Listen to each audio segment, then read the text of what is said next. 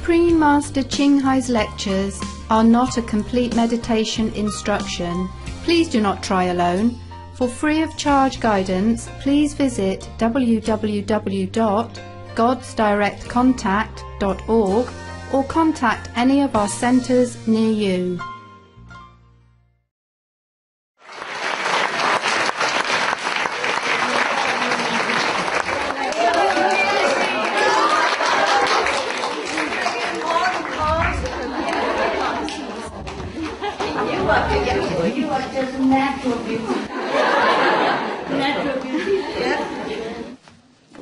I do with you?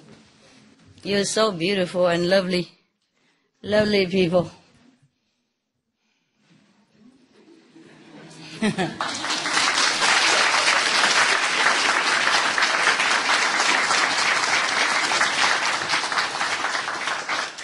Some guru are like this, you know what I mean? Yeah? Very developed, huh? I'm just halfway developed, you know, a little bit here, but I'm trying hard to develop a little bit slowly. but, you know, when you get older, you just develop, develop. you know that, right? And in the wrong place, you know? yeah. I'm trying to balance inside and outside, but sometimes the outside is just too fast, you know. Too fast. He's in a hurry to develop. I don't know where is he going, but he like to go somewhere.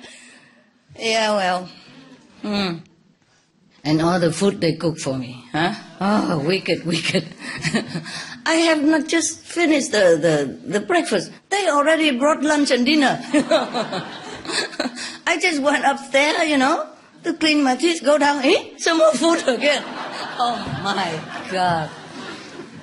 Ah, because I don't come here so often, you know? So whenever I come here, they try to show their developed love for me. and and that affect my development as well. And we develop all together, my goodness. I hope you have good food also. Yes. How much can you eat, my God? I mean, how much can we eat that they cook me so many stuff? Yeah. Poof. Luckily, I choose only some, you know, the, the, the less calorie possible. but you know what? The best stuff are the, the ones that have more calorie, don't you see? huh? You often notice, huh? Yeah, they're so wicked, you know. Hmm. Like the one that is nutritious and all that often don't taste good. and the baddies, you know, oh, they taste so delicious, yeah.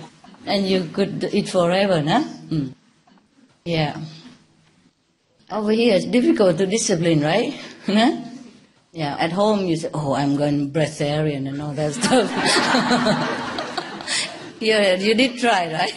you did think about it at least, huh? Yeah? And when you come here, oh, never mind, maybe I do it next year, you know. uh, after the retreat, eh? Yeah, yeah, after the retreat. And then another retreat, okay, okay, we still have time. Master say we have a couple more years. Might as well, you know, enjoy before we die, whatever. Yeah, all kind of excuses, yes. It's very difficult, yeah. These kitchen people, they're full of love, you know love for food. and if they eat alone, they feel guilty, so they have to share it with us, you know? I cook a lot of stuff, my goodness. The more I say, please be simple, the more they develop? Yeah, one assistant stay here, you know. And uh, one time, I don't come here often, but I came here sometimes. Yeah, one time, for some reason, I came here once. And I saw they cook something like uh, the red rice. Do you have it today? Yes. Okay. Every day. Wow. My God. You know, at home, I, I told you I eat like uh, brown rice, yeah? That's a basic food, no? And now and again, you know, once a week. Sometimes, know, three, three times a week, depends on, uh, if I have time, I cook many times, and then they slowly air it on TV, because I cannot just do it once a week, like regular basic, you know, my time is so, so sometimes very, very crazy. I can't arrange it regularly. You know, I don't sleep on time, I don't eat on time. The biological clock to, to, to my body is something like from planet Mars. My body doesn't understand anymore what a biological clock is, you know. I just do whatever is there. I don't care what time. I can't. I cannot look at the watch and say now what time I go sleep, what time I do what. I cannot anymore. You know, it's just crazy. And by the way, I'm also trying to tell my assistant over there as a comforting, oh, you know, brown rice is nutritious, you know, and sesame is protein in there, so we had enough. Okay.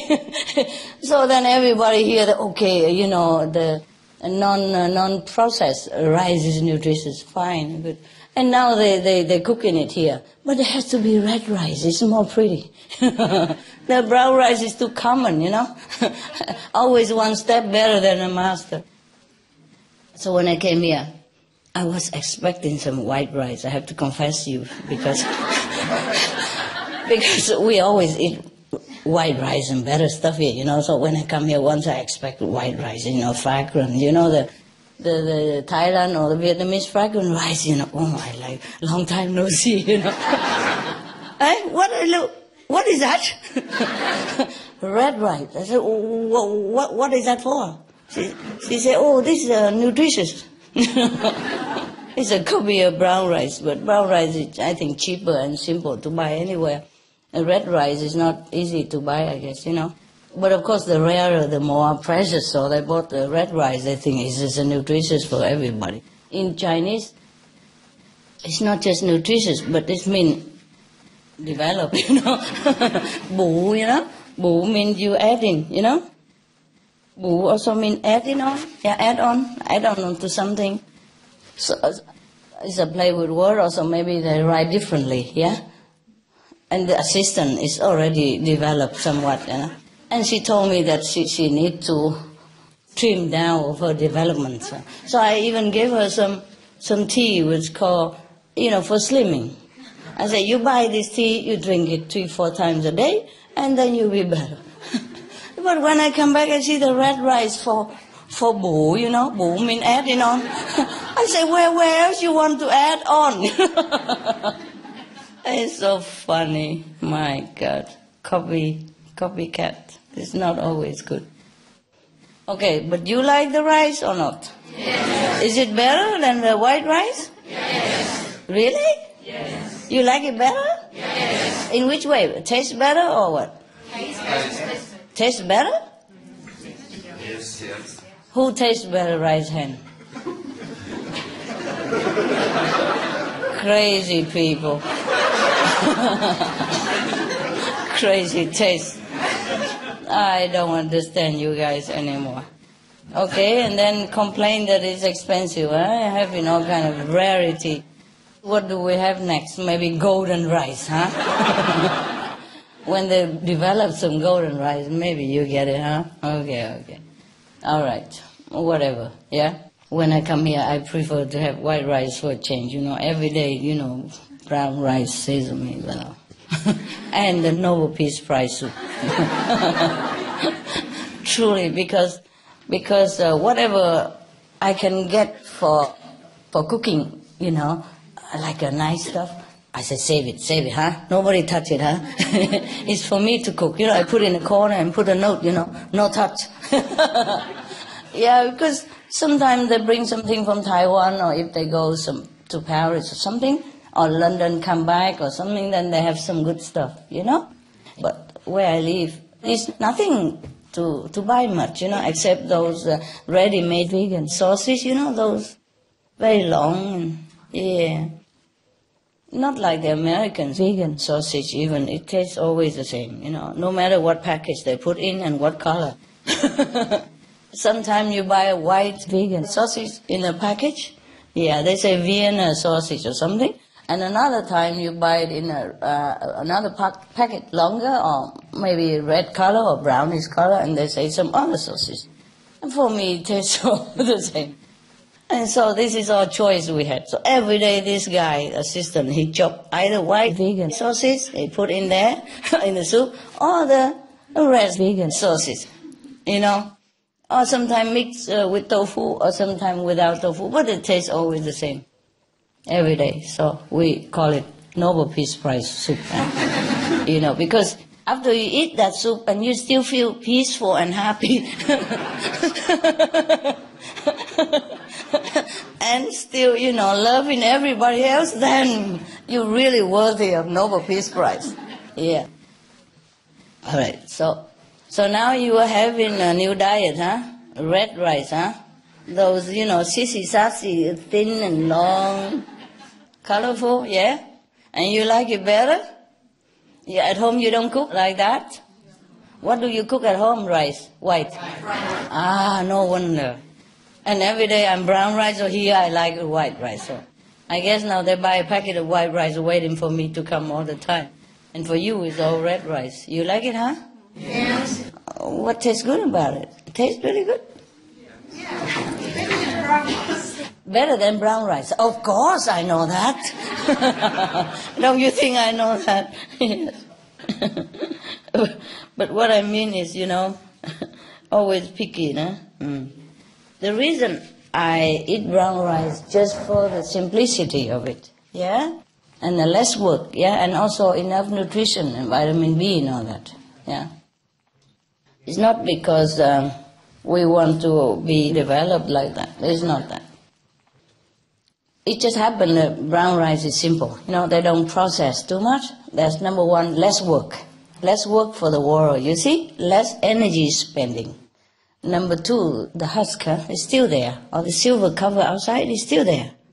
So it's good, it has vitamin B and some other stuff. Yeah. By the way, just convenient, yeah?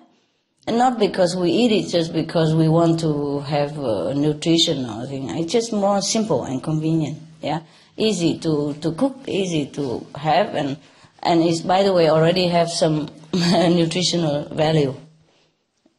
It's not not deliberately made like that, so that we have more nutritional value. Understand me? Just go for simple. Yeah. But here you go a step further. You know, you have pretty rice red rice. Oh, first time I ate in my life. Yeah. Anyway, so there is a difference between the motive, you know, of our action. Do you understand me? Yeah. It's not what you do; it's why also. Yeah.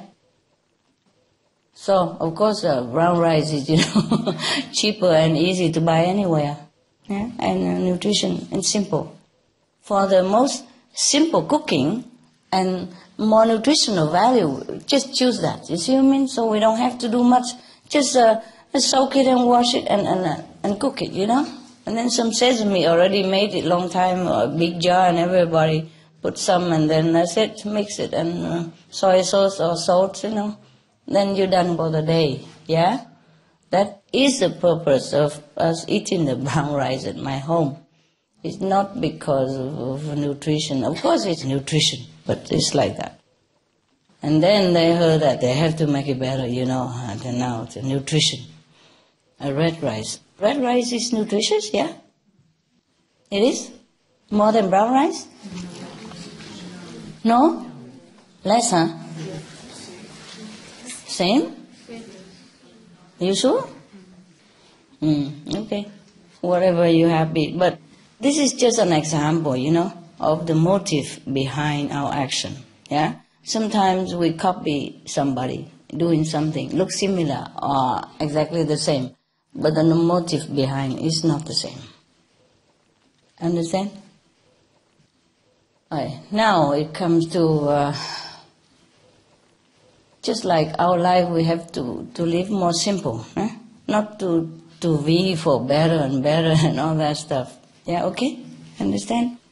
And you eat whatever you want, of course. Eh? And if it's good for you, you can continue to eat that at home. Hmm? Maybe it's good. Mm, I also don't even eat that much rice, brown rice also, you know, just some tofu, raw, simple. Yeah, and then uh, ketchup soy sauce. Yeah, I eat my two, one or two pieces of tofu. That that's is really feel good for lunch already, or dinner, or breakfast, or lunch, breakfast, dinner together, and then uh, some fruits. You know, that's very simple. So I hardly even eat rice at home. I do eat, but uh, not like every day. You know, not like uh, I used to do, like the Vietnamese people eat rice every day. Yeah. Okay. because it's just uh, you just make life more simple. That's all, you know. And whatever you eat is enough for the body to to function. Huh? All right. Not to be sick. That's all. But not to try so hard, you know. not try too hard to uh, make yourself develop. You know, it's it's already difficult being old age to keep your development slow. yeah. Now. And the reason, just by the way, you know, we're talking about the motive of our action. Yeah, by the way. Like, uh, I do not take your donation, okay? That's number one, because I believe each one should be independent, yes? Also, to show you that we should not take, we should just give, yeah? But that doesn't mean suppose I'm very rich, yeah? But that doesn't mean that you will try to take more from me because I'm rich. Do you understand? Yes. You have to remember the five precepts. Not taken what is not given. Even when you force people to give you by some mean, it's also not given. Do you understand me? I teach you meditation to go back to the kingdom of God to discover your great self, not to use this power to force someone to give you something that you like, whether that person like it or not. Do you understand? Yes. This is the grave uh, violation of the no stealing precept. This is really very serious. So the motive behind our action have to always be very pure. Yeah? Very unconditional. You know that already. I feel very rich all the time. Because I feel I'm given anything I need. And I'm never lacked of anything. Whereas you still feel like you're lacking something. Besides, how rich is rich? Huh? It depends on how you feel, right? Some people are very rich, or at least reasonably rich, but they never give anything to anyone. They never done anything good to anybody. They just keep all their money. I don't feel that person is very rich at all because he doesn't enjoy the power of his possession. Whereas whenever I give, I feel powerful. Wow, I have so much money. I can give, I can give, I can give. Do you understand me? Yes. I'm just saying that, but actually I don't feel that much power. But what I mean is, if you don't enjoy the power of your possession, then you are a very, very poor person, no matter how much money you have. On the contrary, if somebody who doesn't have so much money, but is always generous and kind and helping people, that person is very rich. His inside is very rich. Who can be more rich than that? You know? The more you share, the richer you feel. This should be the, the reason why you are given the money. I told you long ago. It's like a water tank, huh? You pump water into the tank so that the tank will distribute in the whole village or town or maybe in your house at least. What's the good of the water tank to keep the water in there and don't give it to, to your house so you can't even wash a vegetable, you can't even flush the bathroom is that a good water tank? No. And then that's all he has all the time. And the water will become bad and stagnant and maybe useless. And in turn also damage the tank. Yeah, make the tank smelly or rusty because of bad substance in the stagnant water. You capish? Yeah? Yes. The same, you see river, lot of water is given everywhere. Yeah? to nourish the, the field, yeah, and to water the plants, and in turn the plants give fruit to the people, yeah, trees give fruit to the people, plant give vegetable to people. That is the really good river, and that is the duty of the river, and that is a noble duty of a river. If the river just giving water all for himself and giving nothing, then what kind of river is that? Huh? Do you understand? Yeah. So God gave us some money or some power or some kind of ability for us to share it with others, to contribute it to the society. Yeah? Hmm. I don't take your donation, not just now because I have money, but even before when I had no home. You know, I had no home before. it's funny. I had no money, no home, but so many people come at that time. You know, it's many enough for that time to become uh, monks and nuns with me. Remember? Yeah, we just camp on riverside and all that, and we did not uh, have any home. We don't have much money at that time. Some money we make before or something, and we just keep spending it. You know, we're very simple actually. So we just barbecue, you know. Take the wood, you know, drifting on the bank of the river, and then we make fire. And then we cook. And even some person happened to be along that side uh, when we were barbecue at night after the whole day, go and lecture and then come back to our home next to the tent, you know, and uh, make some barbecue. I even criticized in his mind, oh, what kind of Buddha come here and just barbecue and don't talk about Buddhism? I talk all day already. just came back from lecture. You understand what I mean? and we just roast some uh, corn and, and some whatever we can buy, you know. It's very cheap in Taiwan. Yeah, something like that, and sugar cane, and uh, orange and apples and those things, you know, easy to roast. And he sit there and criticize in his mind. Later, he even told me. so you understand, the human mind is not very ideal.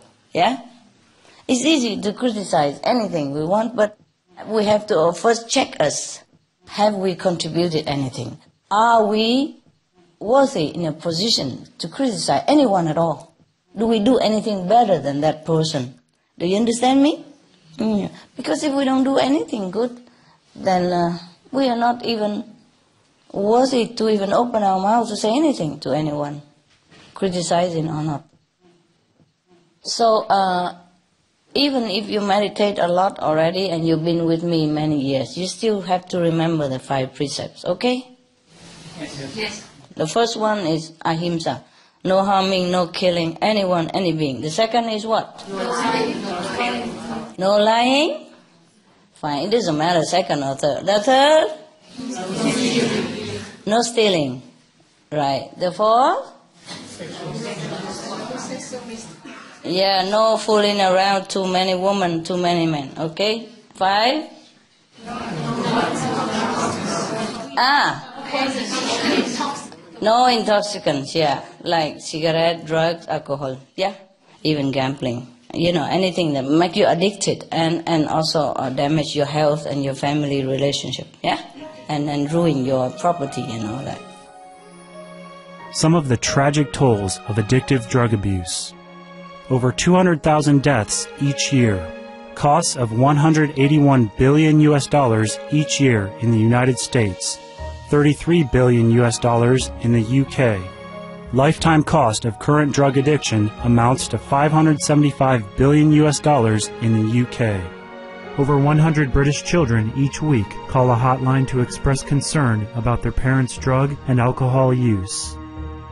Harmful effects brain damage with mental and emotional losses, stroke, heart disease and irreversible damage, liver disease, tuberculosis, emphysema, cancer, depression, suicide, permanent memory loss, mental illness, higher infant mortality, increased crime and violence, impotence.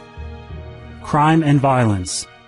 Illegal drugs are a factor in 50% of burglaries in the United Kingdom each year. In the U.S., 60% of people arrested each year have been taking illegal drugs. 650 heroin addicts in the U.S. committed 70,000 crimes in a three month period. Social costs. U.S. businesses lose 100 billion U.S. dollars per year due to employees' drug and alcohol abuse. Australians pay 53 billion US dollars per year for healthcare, law enforcement, and lost productivity of drug users. Environmental costs. Every gram of cocaine produced destroys 4.4 square meters of rainforest, with 300,000 hectares of rainforest lost each year to cocaine production. Death. 52 people die each day due to drugs in the U.S. In Canada, substance abuse is attributed to 21% of total deaths and 23% of potential life years lost due to early mortalities. Plus more. Subsidize and convert the drug industry into vegetable organic farming. For help quitting, please visit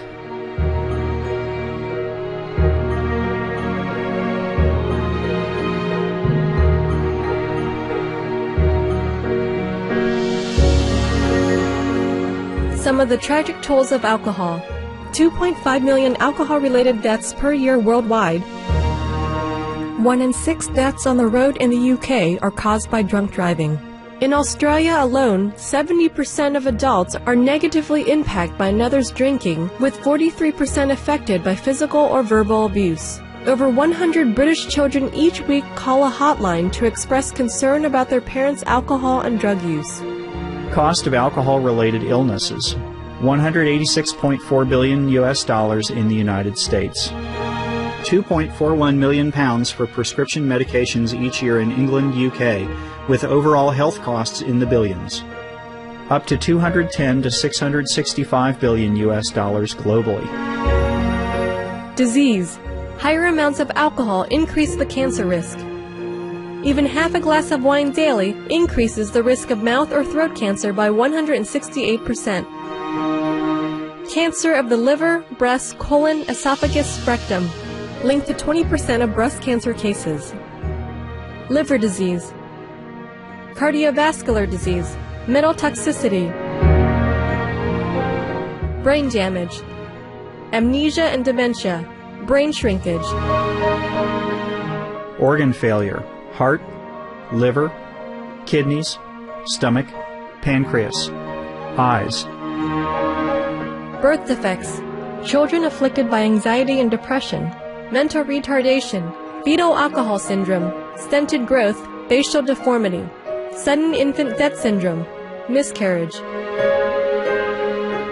alcohol related violence, child abuse 50% of cases, violence toward loved ones 30% of cases, violent acts 40 to 80% of cases, suicides 20 to 50% of cases, plus more. For help quitting, please visit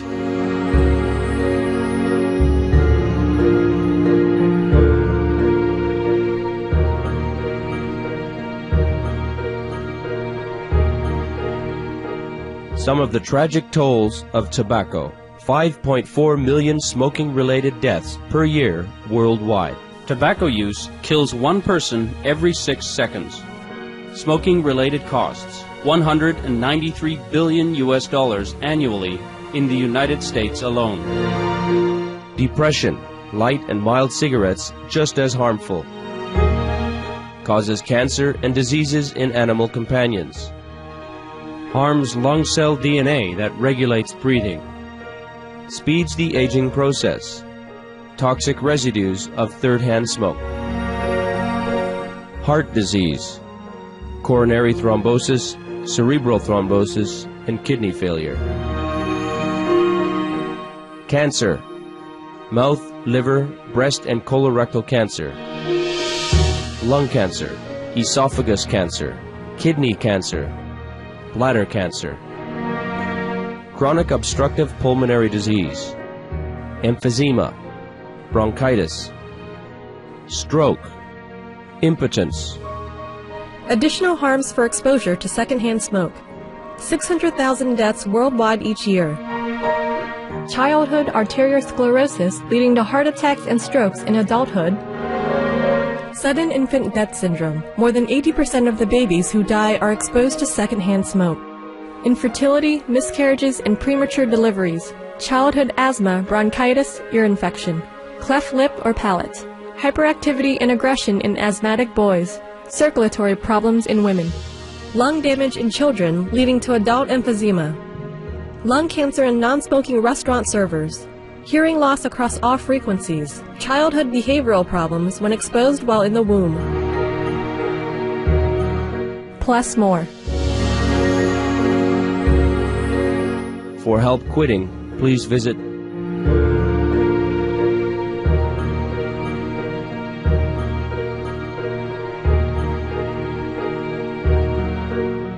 For more information, please visit www.suprememastertv.com forward slash killers. Yeah, okay. That's good. At least you remember. And you have to check yourself every day with a diary. Understand? Whether what you have done all day is correct or not correct. Yeah? You must. A Buddha who is not correct is an incorrect Buddha. Okay? now you know that already, yeah? Hmm. So I just want correct Buddha, nah? I want fake Buddha. Now you have to be careful like that. Because it's so easy to be tempted. Oh, why not? You know? It's very easy for us to be tempted. Yeah? So we always have to check it, control our thinking. Oh, the candy is over there, why not taking some, you know? Nobody's looking. Or master can buy more anyway. Yeah? It's not the reason for you to take it. You see? Because I don't ask you to contribute. You should not think that you could, you know, you should take everything else from me. That is not correct. Yeah? I don't take something from you, not necessarily that I'm rich. Okay? I just, I want to keep clean. Make an example for you. We all have to. And for, for the same reason, you should pay when you come to any center to eat. I pay also here.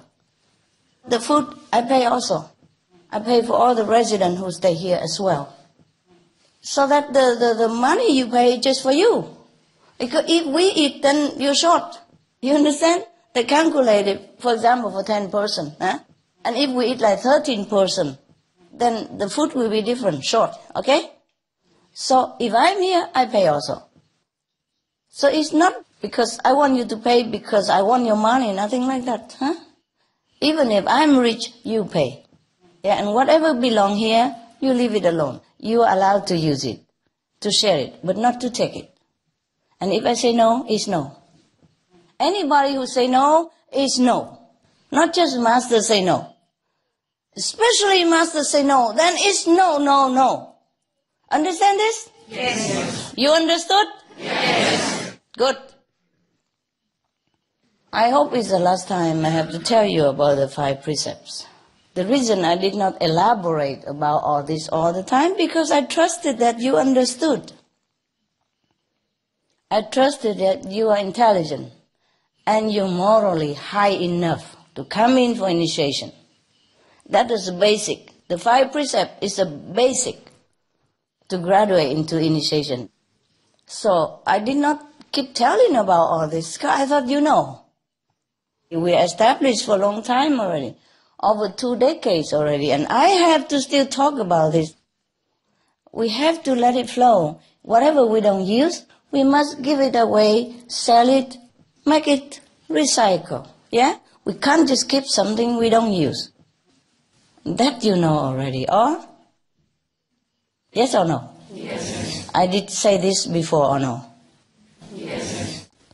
And the five precept is clear, right? Yes. Yes. And what did you come from initiation for? You know, right? Yes. Use your power for what? Huh? To what? To go to heaven. Yes, to go to heaven. I did not promise you that you come for initiation and then you have a bigger meditation hall or something. that, that was not the condition of initiation, right? No. I did not even say that I will buy a center meditation hall, no? And you know, before that, I even uh, give them some money to pay off the old center already. It's not much, but just to pay off their, you know, mortgage so they don't have to continue paying. I also really give something already, and every time I go there, I pay my meal, you know.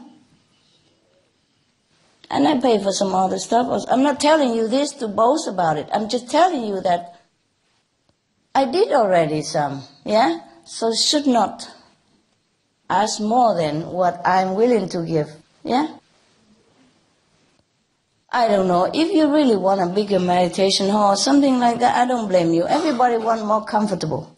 And the more the better, I guess. Huh? Then you could find another master who are richer. Yeah. Sure, there are some richer, you know? And they don't even know what to do with their money. so maybe you go there, huh?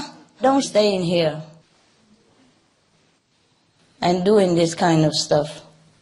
That, suppose, you know, such a good meditation practice and given so that lowly purpose. You understand? Using it to force people to give what they don't want. When I was younger, you know, when I just begin my mission, yeah, I had some uh, disciple became a resident, eh? monks and nuns. And we didn't have much money, but we, we walk around and look around. One of the residents, oh, master, this is a very good place. If we have this, huh, every Sunday people can come sit meditate better. Because we rented a small place. Because more and more people come and I don't have place for them to sit in the rain, so we rented a place with whatever little money I have. At that time we just plant vegetable and I make like soya sprout to sell and because the, that place was full of ghosts. And nobody ever buy that place for a long time, you know, since Qing Dynasty or something. Everybody afraid of that place or they didn't buy it, you know, for a long time. And the grass even grow into the driveway, cover the driveway, you know. It even uh, sprouted and piercing through the asphalt road and grow on the road. So when we came, we have to clear in order to walk in the house. So you know how long people have not lived there. The grass is taller than the tallest guy in this house. And it grow also inside the yard and through into the living room and everything, you know, nearby. And, you know, around the house is completely covered by grass. Uh, this tall, you know, tall, very tall grass. And the hard kind of grass. The grass, when you look at it, you thought it's like sugar cane. Yeah, not big you know, this kind of grass, you know, big, big, bigger. So we had to clear all that in order to go inside to, to live and clean up and wash everything, you know, we'll do together. And then we have a little living room for meditation hall. But you know, one of my uh, so-called uh, nun at that time, she, we walk around this infinity sometimes. At that time, we didn't even have car. So we walk around, she said, oh, master, this house very nice. I said, yeah, yeah, nice, nice.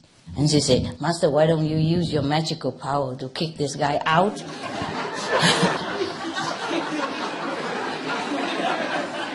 and then we can, you know, buy cheap or something. kind of resident are you know. but later she knew she's wrong, of course, and she told me, yeah, that's correct, that master scolded me. Yeah. I scolded her. I said, you should never have such a, you know, incorrect thought like that in your head. This is people's house. Yeah? She said, yeah, but he don't have any merit, master. He eat meat, he drink wine. How does he have a bigger house than you have? you know, she's saying, I'm a master, I should have better. I said, well, that's his merit, you know? Maybe he's nobody at this lifetime, but maybe last life he has done something good. Yeah? Uh, to people or do some very uh, meritorious deed. So in this lifetime, he enjoy his merit. That belong to him. So I said to her, well, you know, you don't use magical power for this thing. You should know that. But she was new, you know, and I don't scold her too much. But I said, this is a very wicked idea that you have. You should not have this. It's very bad for you.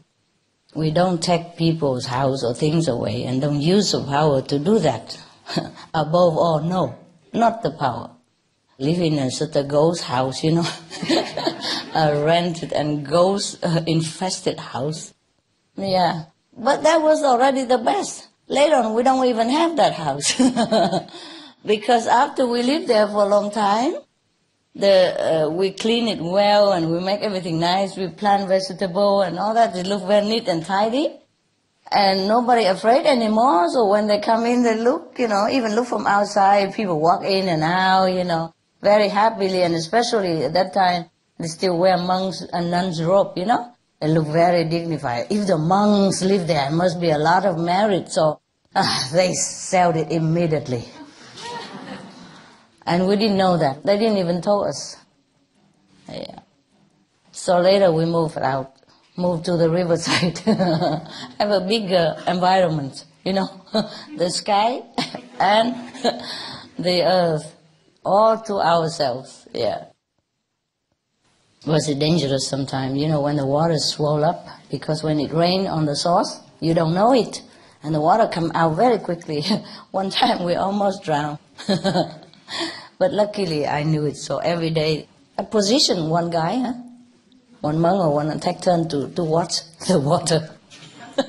luckily he didn't meditate very deep that day, so they tell us, oh, let's go, let's go quick. Everybody run, run, run. yeah. I was young and, you know, a little bit carefree. I have to tell you that I was too carefree. Yeah. Sometimes we just drink water from the river and we don't know where the river come from and we couldn't care less, you know. And sometimes we don't even know, there's no, no river even, you know, there's the water came from somewhere. We just see the water and we filter it and then we use it. Yeah. Because we cannot keep staying in one place too long, you know, at that time. Yeah. yeah, so, okay.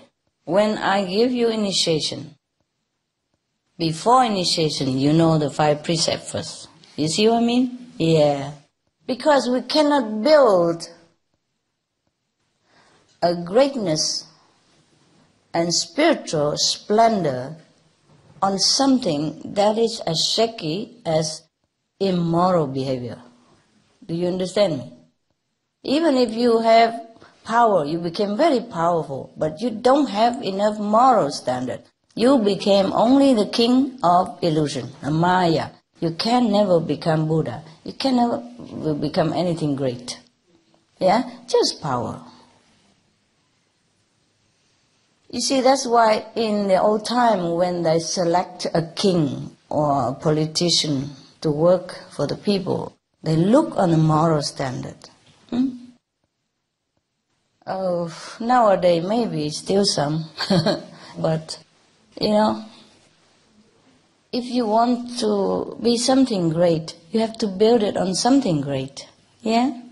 You can't become a Buddha and then stealing at the same time and doing all kind of nonsense stuff. Yeah? Right? Okay, so now you know, huh?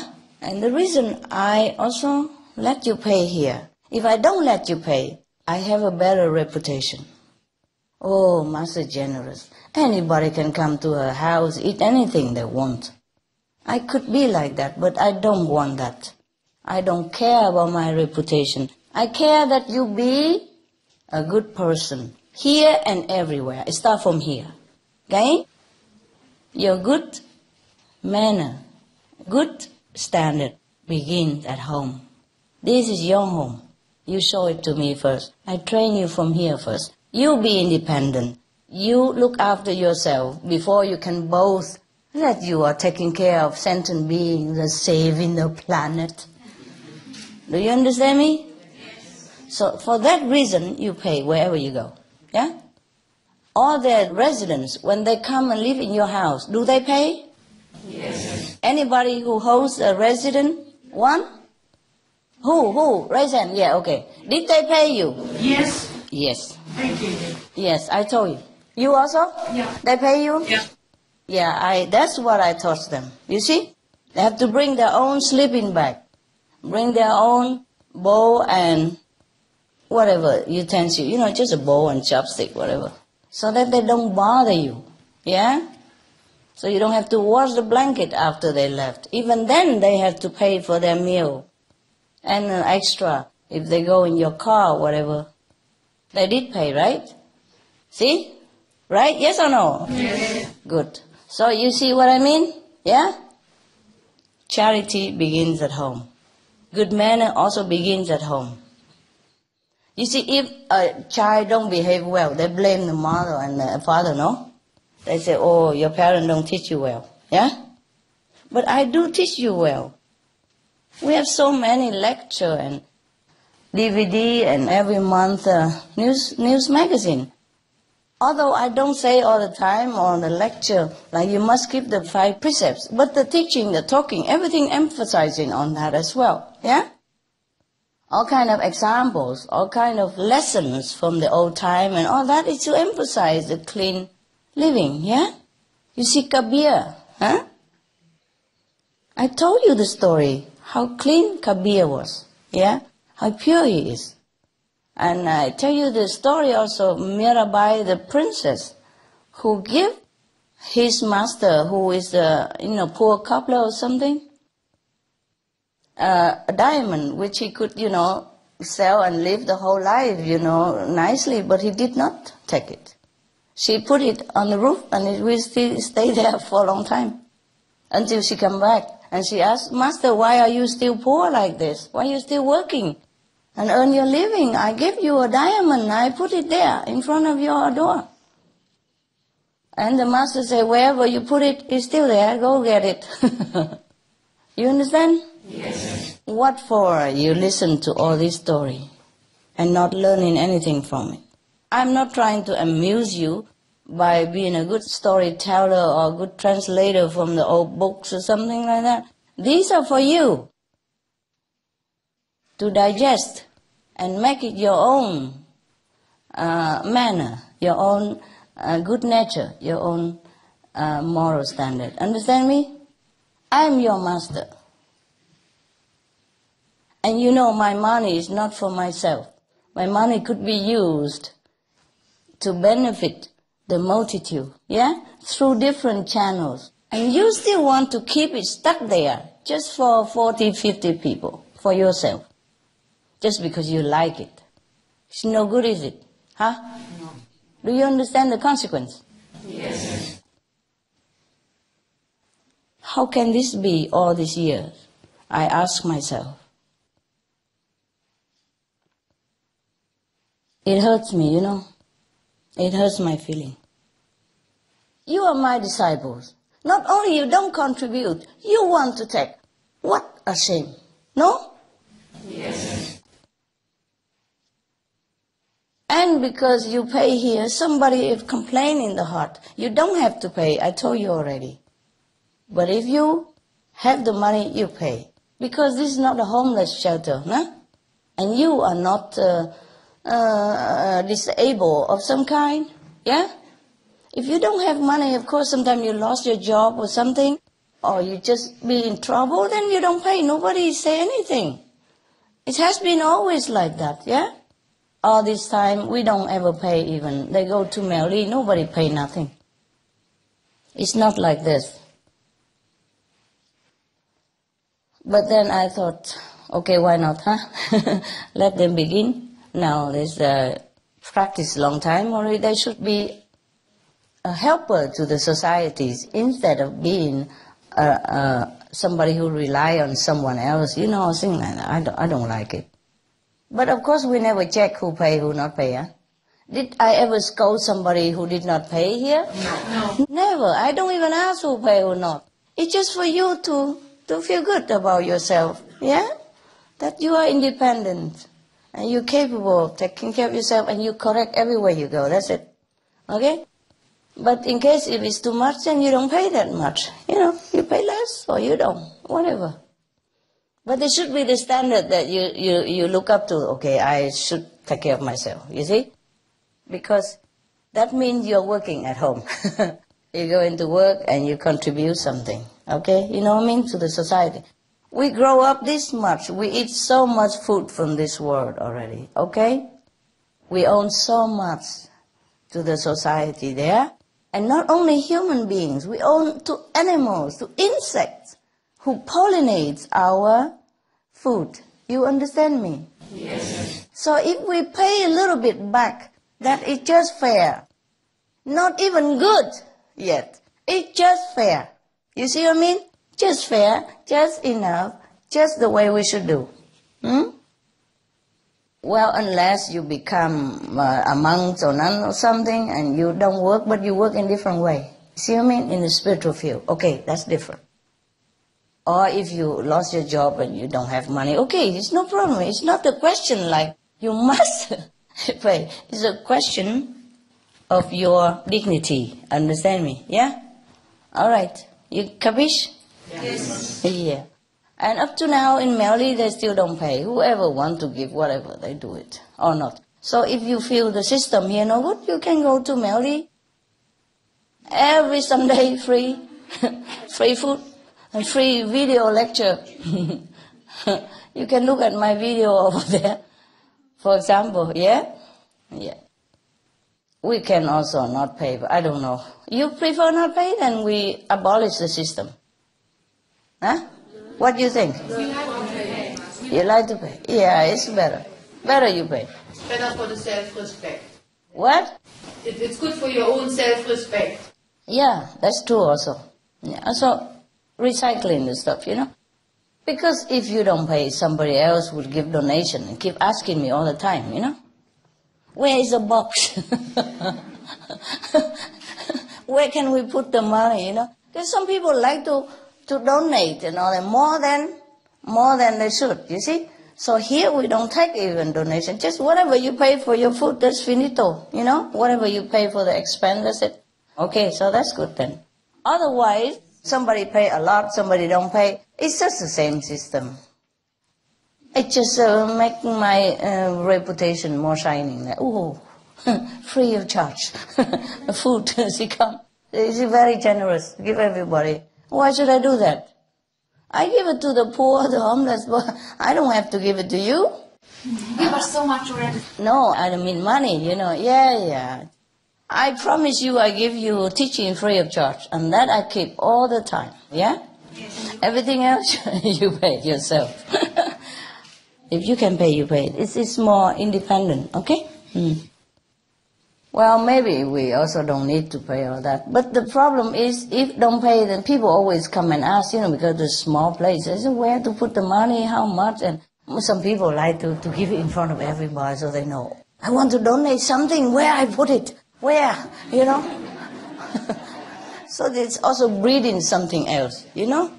Everything is not so perfect. Yeah, the basic stuff. But uh, it's good to remind you now and again, huh? Keep to your five precepts, huh? Even if you are Buddha already, I don't care. You keep the five precepts for me, okay? Hmm. I like correct Buddha, huh? okay, now I'm going downstairs. And you watch TV here instead. yeah, what to do? So many children. so you, yeah. I do love you very much. You know that. But sometimes I really have to force myself also to come here. Because I'm lazy, you know. I'm getting older. And I like my place. Yeah, you don't have to wear in any stuff, makeup, nothing. But uh, when I see you, I also love you so much, and I also want to keep you. it's funny, you know. If I don't see you, I don't care, you know. Truly, I don't wish to see you at all. You know, I wish to stay just in my place.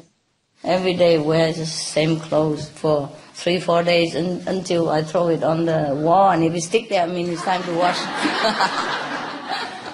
if it's still falling on the floor, then I still wear it. Simple life, you know? Yeah. But when I see you, oh, I love so much. I don't want you to go. And when I don't see you, I don't want to come here. Can you explain why I'm so complicated like that? Huh? Normal. No? It's normal. Normal? Why? Why normal? I thought it's not normal. huh? It is. It is? Okay, thank you. I'm normal. After all, I'm normal. Okay. You have a normal master. Ah. Lucky for you. Hmm. All right. I'm going downstairs. Okay, Kitty?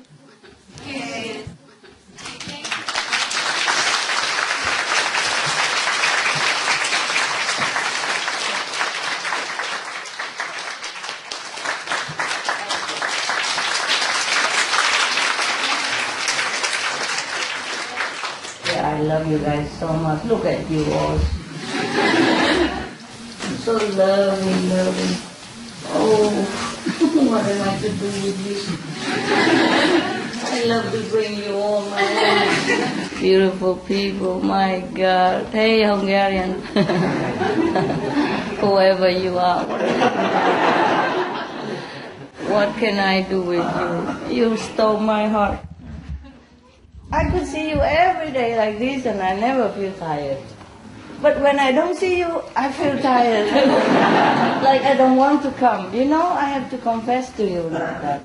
I was reluctant to come. But I know I had to come, of course, but not like, oh, I'm looking forward to go to.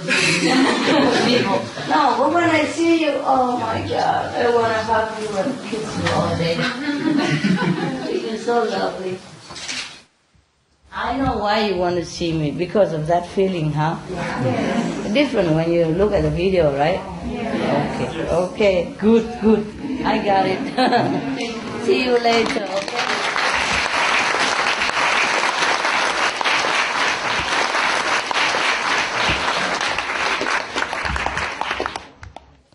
I'm sorry, we don't have enough room for everybody, but we're okay, huh? Okay. How many Vietnamese here? A lot, huh?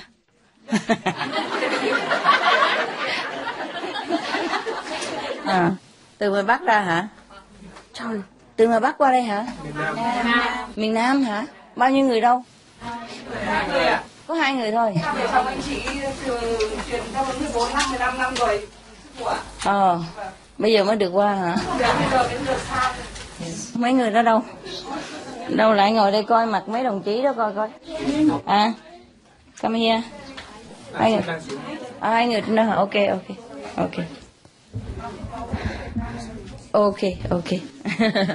hai người đó đó hả? Wow. 15 năm nay con mới được qua. Ôi, chù, giờ tội nghiệp không? Ờ. Thôi, thôi mời, mời miếng bánh kẹo đây, ok. lấy mũ, lấy mũ. Hai người vợ chồng hả? Dạ, vâng. Ờ, ok, thôi chia nhau ăn cho nó, cho nó lãng mạn ha. À, ờ, đó, ngồi đây đi. Dạ. Ok. À, không có gì. Ừ. Ok.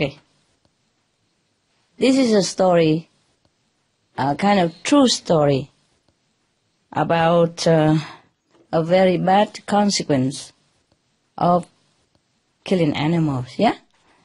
Okay.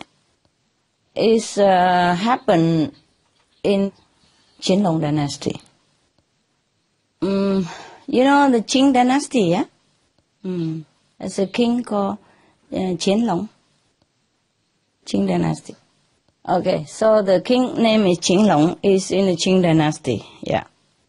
Under his uh, dynasty, this story happened. Okay. It is at the end of Qianlong dynasty. All right. So now, uh, in the place called uh, Runzhou, huh, the, the people there are very, very, very, uh, kind of very vicious. They love to kill. The whole vicinity, the population of that place is very, very vicious. They're brutal. It doesn't matter if they are old or young or little kid, they're already born in this kind of uh, tradition to kill. They love to kill animals. They never uh, think twice about killing any animals. Also, killing their own children. Such a terrible tradition. Okay.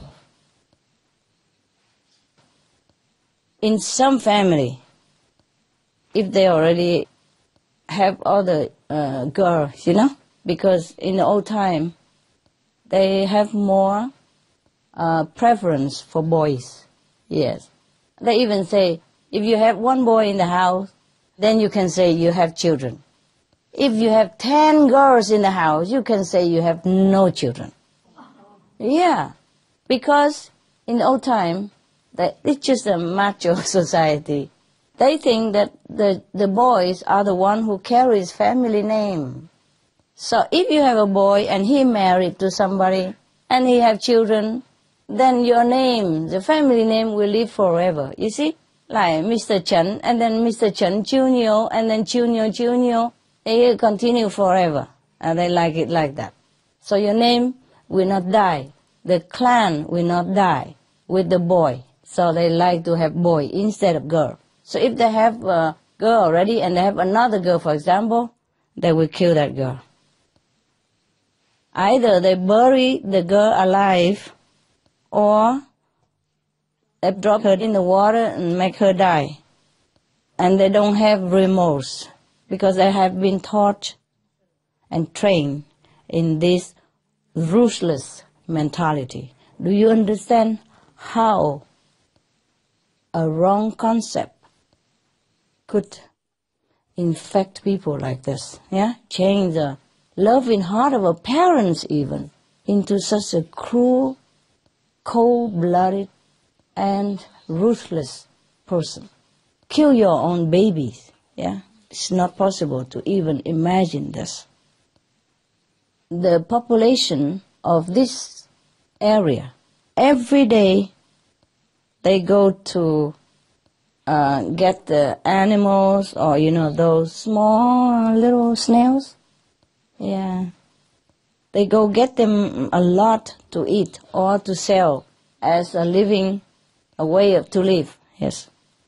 Also, they taught their children to do the same, to go get all kind of things, you know, birds and uh, snails and fish and uh, frogs, yeah, and then teach them how to open them up and vivisect them and all that. And even then, they clap in their hand and say, "Look, how my boy is so so heroic, so strong, and so brave," you know, thing like they encourage children into this kind of ruthless habit. The whole population of that area is like that.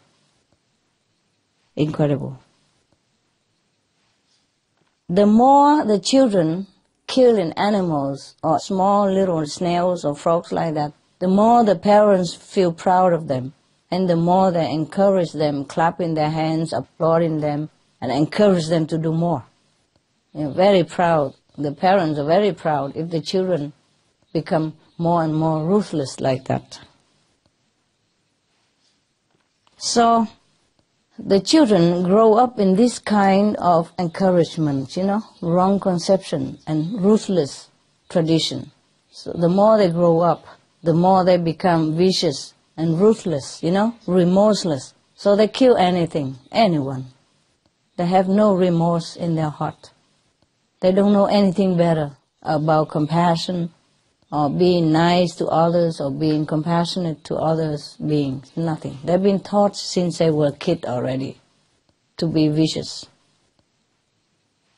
So when they grow up, you know, they carry with them this kind of killing energy around them all the time. One day, one of the citizens of this uh, area slept and dreamed that there were two, two officials wearing black clothes. And in the hand of the two officials, there were a book, uh, also black cover, and something written inside.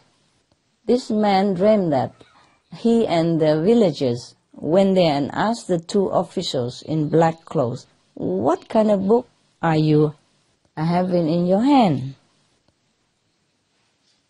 So uh, one of the officials say that this is the book that called the killing record. Yes. And the consequence of the killing. The book is written about who is killing whom and how much punishment that person will have to endure because of the killing. And then the two officials in the black clothes also advise them that they should uh, begin to have the heart for living beings, yeah? The heart not to kill, but to help, to live and let live, and to help people to live. But of course they don't listen, huh? And uh, the officials in the black clothes also tell them that because if you don't begin to change your way of life, soon the whole city will be submerged underwater, will be drowned, the whole city. Five days later, after the dream, the whole city of Renzhou was really drowned under the river. It's all go down there. Suddenly, it seems like the whole city just wake up, and then everything happened so fast. Yes, suddenly they see their house, their carriage, their uh, furniture, everything just suddenly, you know, falling down into the river. They want to open their mouth and call for help. But then they also drown into the river at that second. All of people. Ah, strangely enough, one person escaped. Hmm. Her name is Kong. Mrs. Kong, uh, normally she always tell everybody, please don't kill animals. Try to stop the killing and try to respect lives of all beings. That is every day she tell everyone to stop the killing, but nobody listen to her. On the contrary, her lifestyle is that every day she tried to broom all the snails, you know, that all over the, the streets so people don't step on them or they don't take them to eat. So she will groom them with a broom together and she will put them back into the river or somewhere safe. And also she very careful about the, the ants and all that. You know, she also take care of them, broom them away or giving them food. Uh, this is the thing that she does daily contrary to the whole village who is always bent on killing anything in sight. Yeah? Everyone in this city laughed at her. You know, while they was alive. While they were alive, they look at her every day, grooming and saving the ants and saving the snails. They all laugh and make fun of her and ridicule her and humiliate her a lot. But she didn't care she feel very happy doing that, saving lives. She was very happy doing that every day. Yes. The day that the whole city was having this disaster of the river water just swallow the whole city. That day, it happened that her smallest child was uh, having a fever. So she had other children perhaps not there.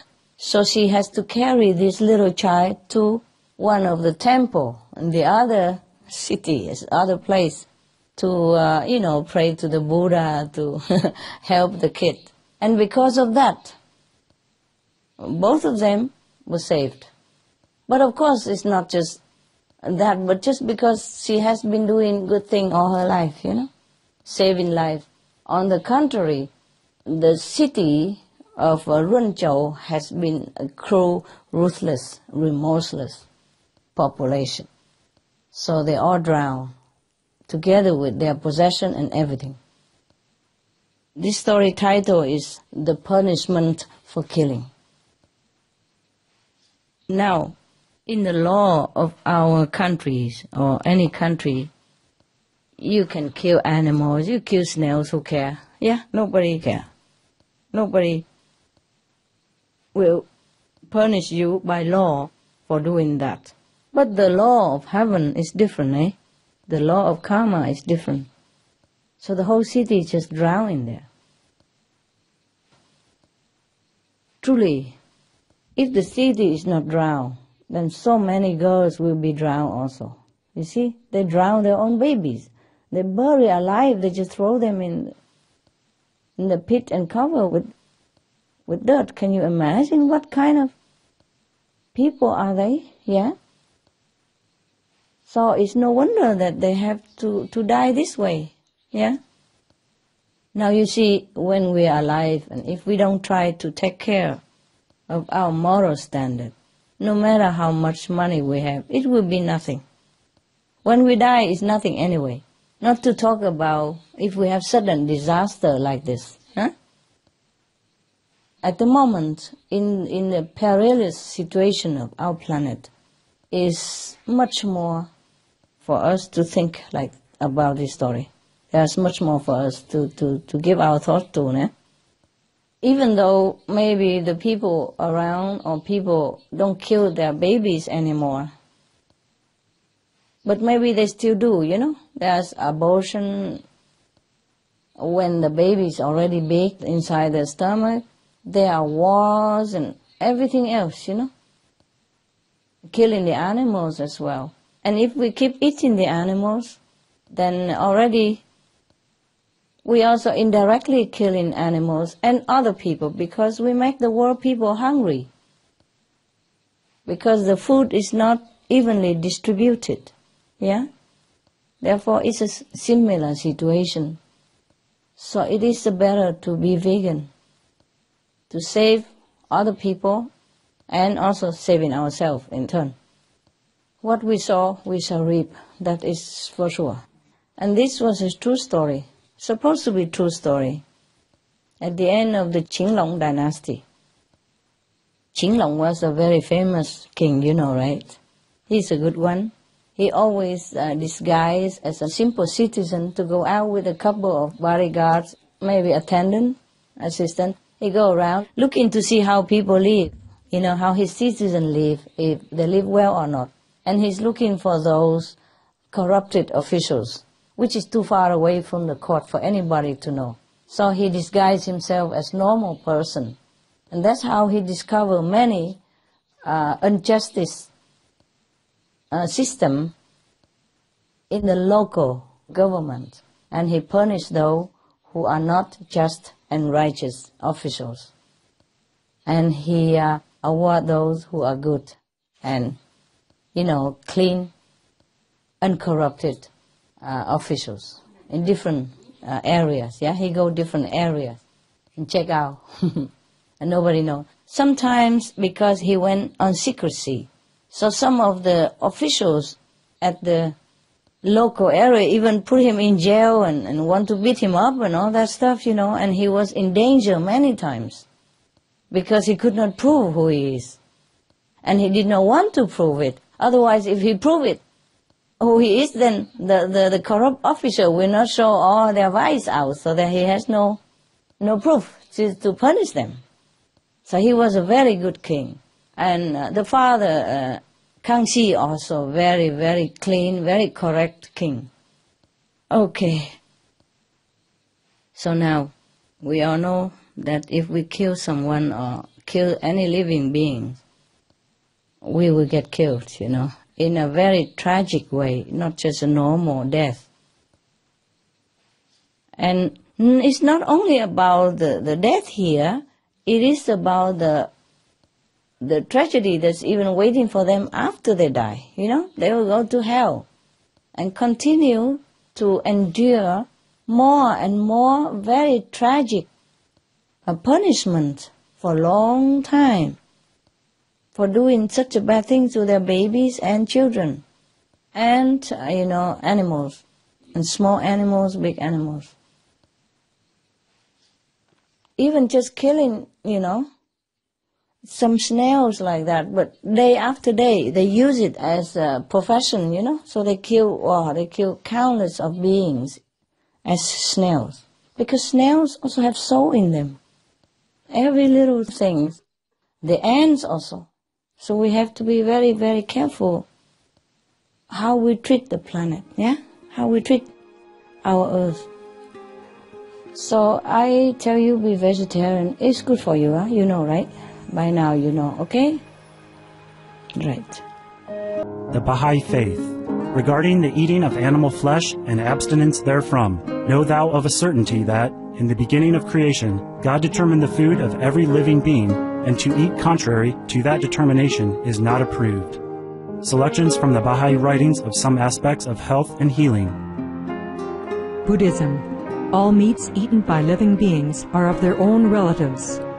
Lankavatara Sutra, Also, after the birth of the baby, care must be exercised not to kill any animal in order to feed the mother with meaty delicacies, and not to assemble many relatives to drink liquor or to eat meat, because at the difficult time of birth there are innumerable evil demons worship performed, or such sacrifice offered, would not have even an iota of force to benefit the dead, but would entwine even more sinful karma into previous karma, making it even deeper and more serious.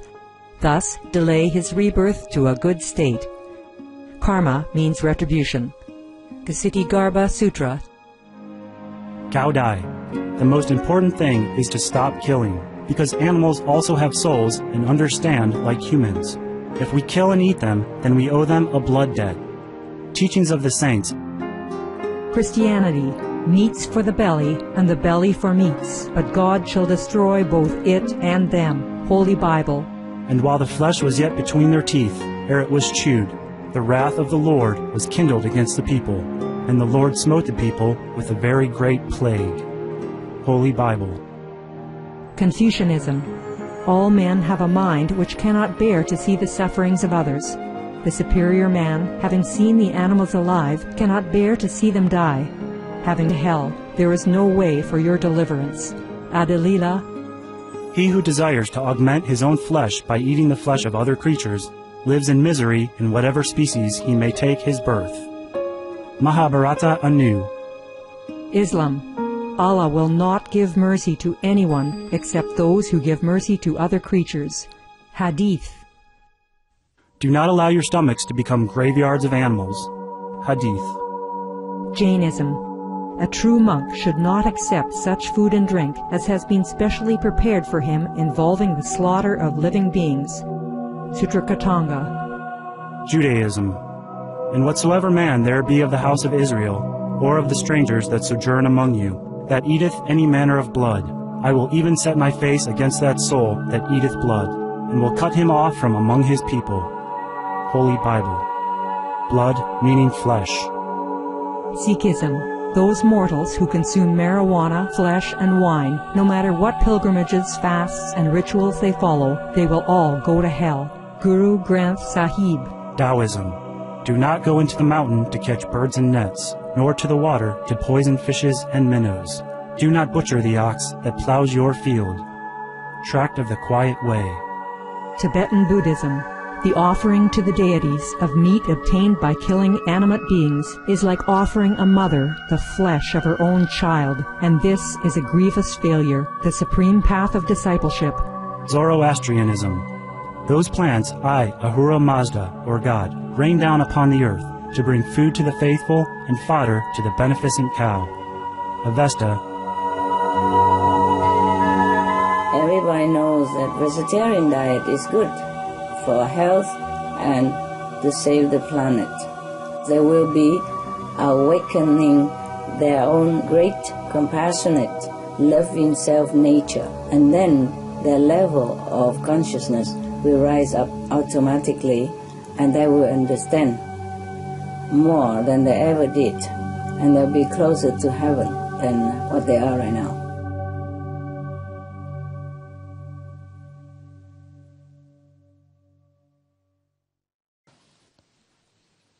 Any question? Hmm? I have a question.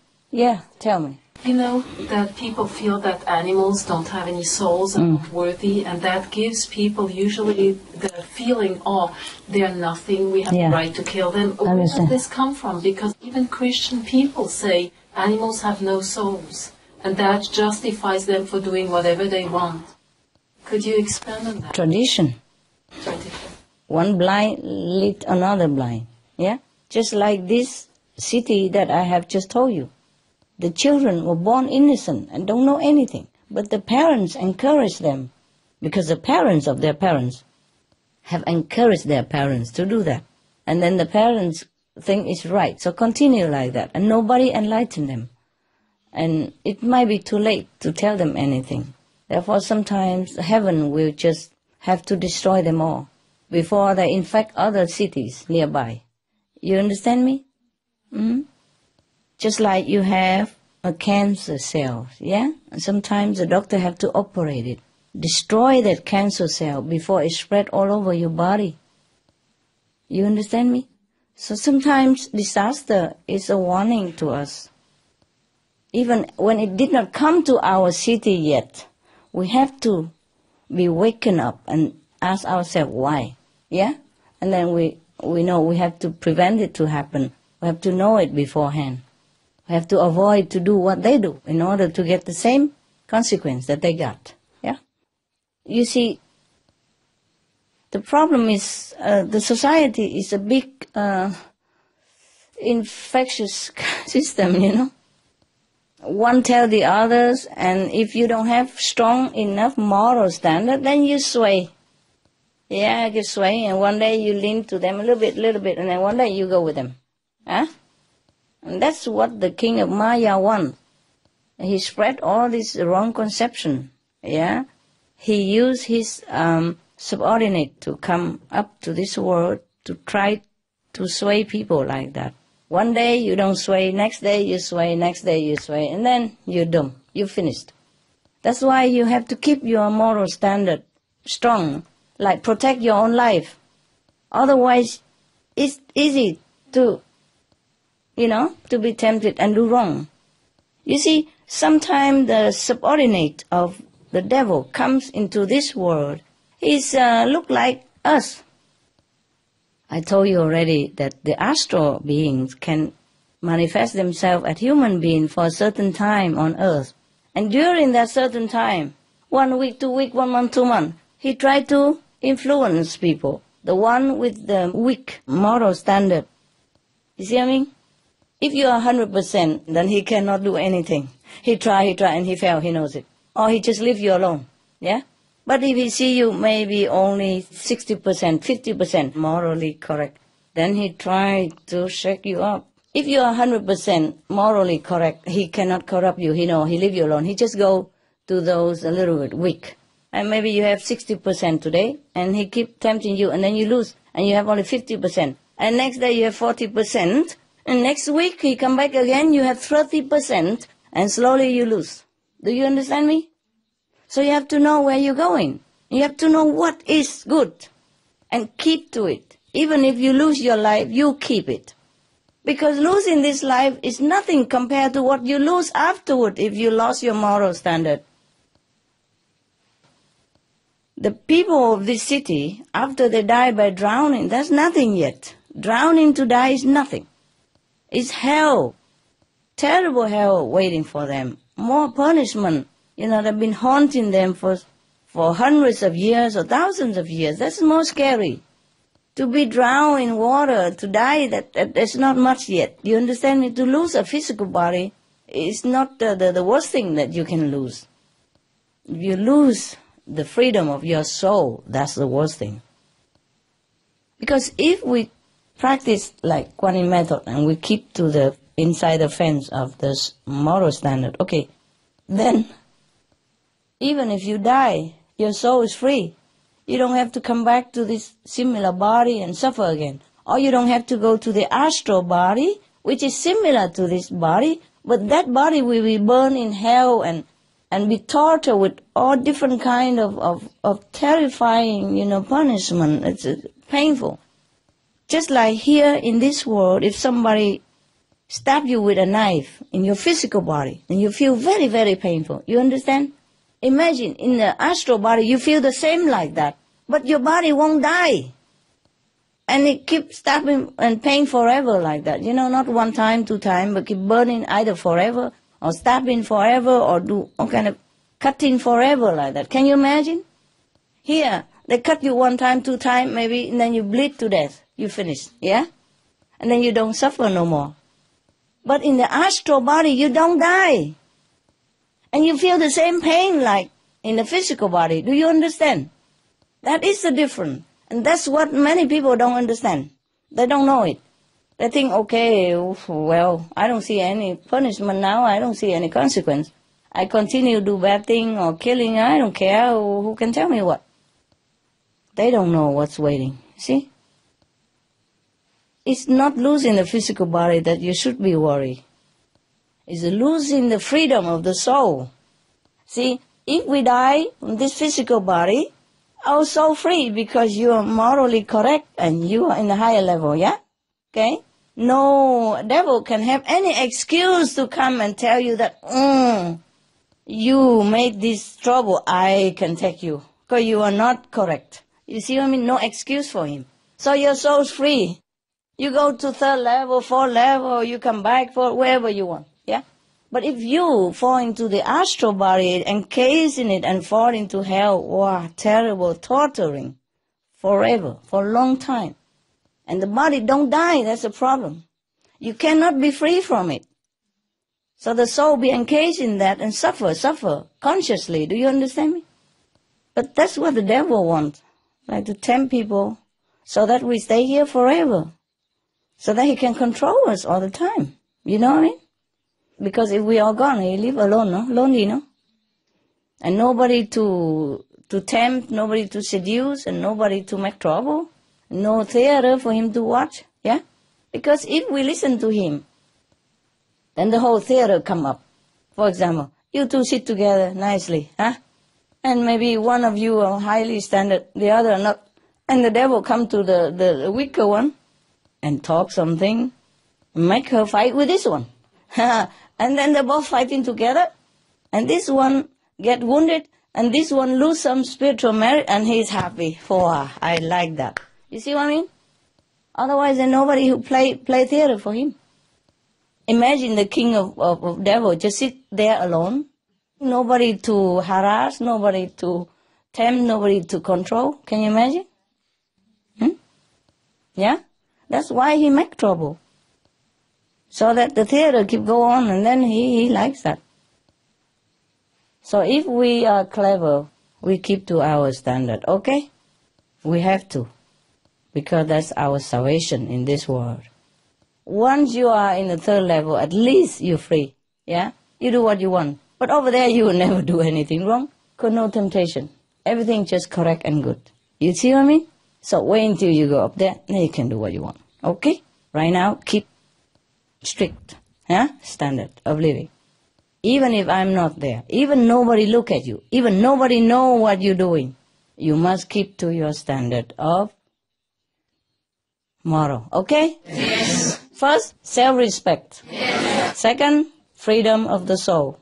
Third, benefit everybody else. Okay? Including yourself. All right. Any more question? No? Good, huh? Yeah. Dạ, thưa sư phụ con uh, 14 năm con theo thầy học đạo à. thì cũng có những cái cảm nhận mà con nhận được là ở trong người con nó có hai cái thể một là cái thể hồn hai cái là thể vía uh-huh. cái thể hồn khôn á, thì đôi khi con gặp thánh nhân con uh-huh. gặp uh, đức mẹ Maria uh-huh. con gặp Chúa Giêsu wow. và ba lần con gặp thầy wow. còn cái phần vía của con á, đôi khi con cũng không có muốn đi đến những cái cảnh giới thấp con biết là cảnh giới thấp nhưng mà con dạy nó không được. Con biểu đừng đi đến đó mà nó cứ đi. rồi sư phụ làm sao có thể là dạy cho nó bảo rằng đừng ở ghi ghế mà ghi học đạo cho nó đúng thì thì lúc đó kêu sư phụ kéo lên. Ok. Dạ. Con dạy mà nó ở dưới nó vui. Yeah. à. cũng như nhiều người đâu có muốn đi lên thiên đàng đâu. Ở đây hoài chết không chịu đi kéo không chịu lên á. Phải không? Dạ. Yeah. any more question? Hmm? no you done yeah hmm? No more